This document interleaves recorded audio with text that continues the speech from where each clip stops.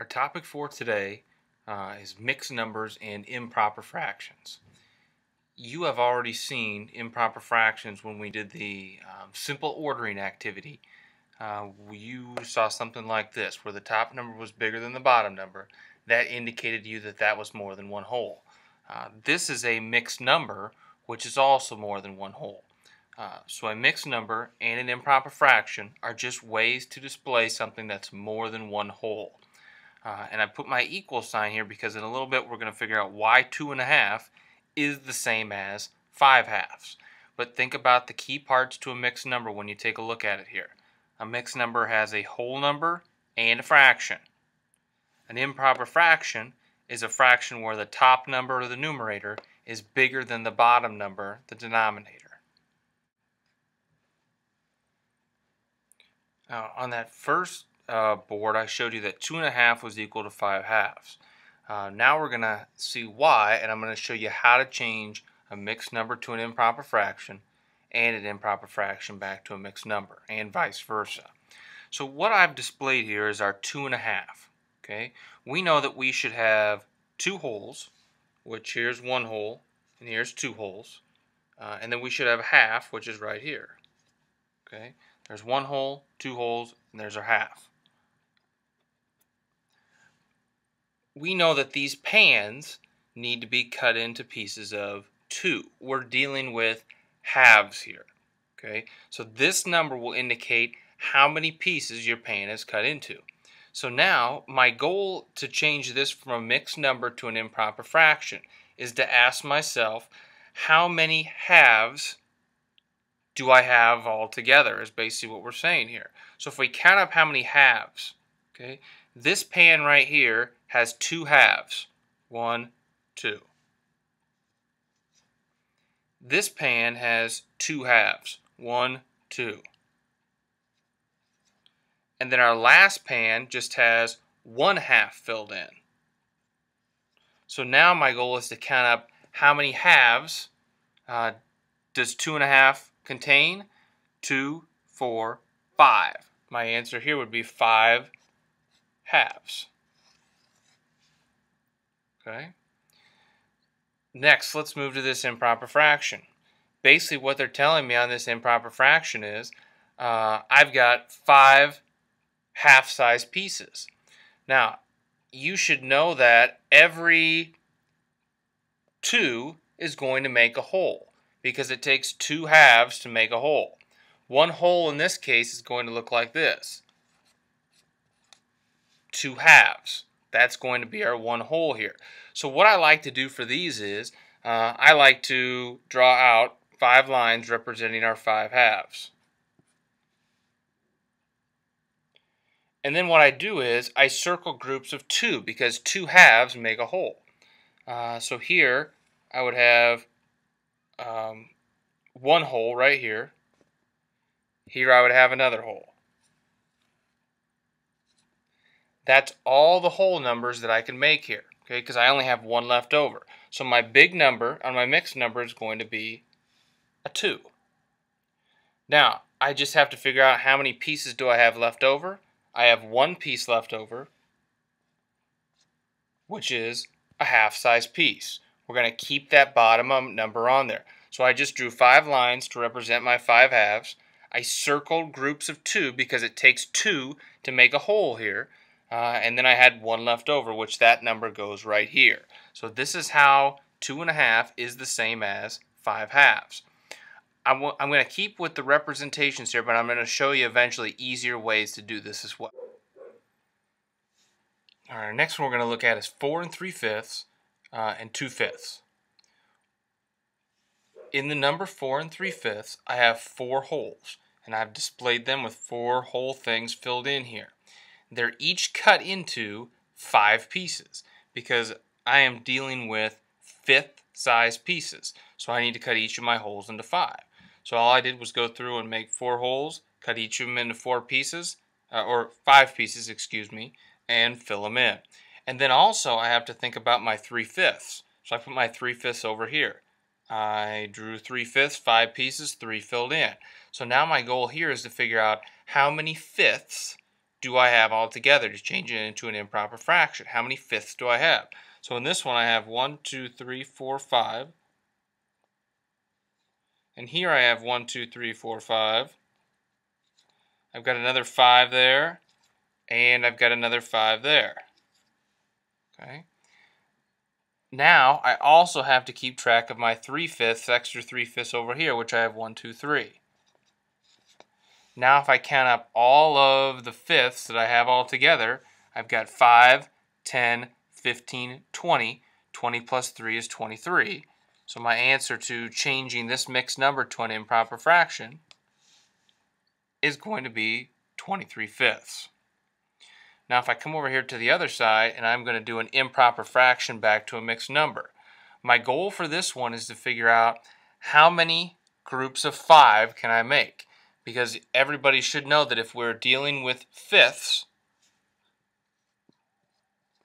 every five fifths we have is a whole. So what I'm going to do is I'm going to make groups of five to see how many I can make here. One, two, three, four, five. That's going to be one whole. One, two, three, four, five. That's going to be two wholes. And by the way, I just drew 23 of these lines because I have 23 fifths. One, two, three, four, five. One, two, three, four, five. That would have been three, and that's four. And then if you notice, I've got three extra ones left over. I'm not going to be able to circle those three um, because I need five to make a whole. So I have one, two, three, four wholes. So my big number in my mixed number is going to be a four. And then my bottom number is just going to stay the same because I'm making groups of five. And now if I have any left over, it goes up here, and I do, I have 3 left over. So I have 4 and 3 fifths. That's how 4 and 3 fifths is equal to 23 fifths.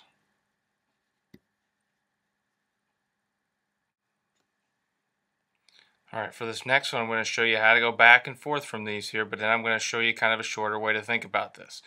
Uh, so for starters, I have my three wholes here, and I have them cut into four size pieces or four pieces each. I filled them all in because they're wholes. One, two, three. Now my two fourths is over here. Uh, one, two. So again, my question is, how many fourths, because I'm dealing with fourth side size pieces, how many fourths do I have all together? So I have one, two, three, four here, four here, and four here. Okay, that would be 12, and then 13 and 14. So my answer here would be 14 fourths. Now the easy way to do this is I like to take the whole number and multiply it by the denominator. Okay, so for instance, 3 times 4. And if you think about why this works, I've got three wholes here, and they're each cut into four pieces. 4, 8, 12. So 3 times 4 is 12. And then all I really need to do is add on the extra that I have. And I've got two extra ones right here, which is just adding the top number, my two extra ones. So then I just do 12 plus 2, and I get 14. That goes on top. My denominator stays the same. So again, if you just multiply the whole number times the denominator, that represents three groups, or three wholes, with four in each one. Then if I just add on the numerator, uh, that would give me my answer of how many fourths I have, which is 14. Now if I come over here, uh, I've got my, my 14 lines drawn out here. I need to make groups of four. Every four that I have will make a whole. One, two, three, four. One, two, three, four. One, two, three, four. I only have two here. Okay, so I can't make another whole. One, two, three three wholes with two left over. And I always keep my bottom number. Now if you want an easy way to do this without drawing all the lines, all I do is do a division problem.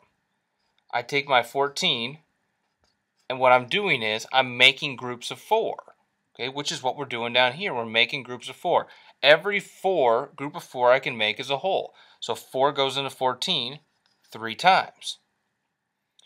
3 times 4 is 12. If I subtract, I get a remainder of 2 at the end. That's my leftover amount. So my whole number, here's the big number that I get in my division problem, and then my remainder is the top number on my fraction, 3 and 2 fourths. So you can draw the lines, you can draw the pictures, it's fine. I'd like you to know how to do that.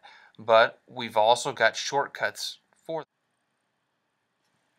Here's the last example I'll give you with a picture and showing you the shortcut before you try some of these on your own. Uh, I've got my mixed number here, my improper fraction here, and I'm showing you that both of these things are the exact same thing. 5 and 2 tenths and 52 tenths are the same thing. Uh, I've kind of shortened my picture down over here a little bit. Basically what I'm doing is I've got my five wholes on my mixed number. So I drew um, my five wholes right here, and inside of them I put how many pieces would have to be shaded in for it to be one whole.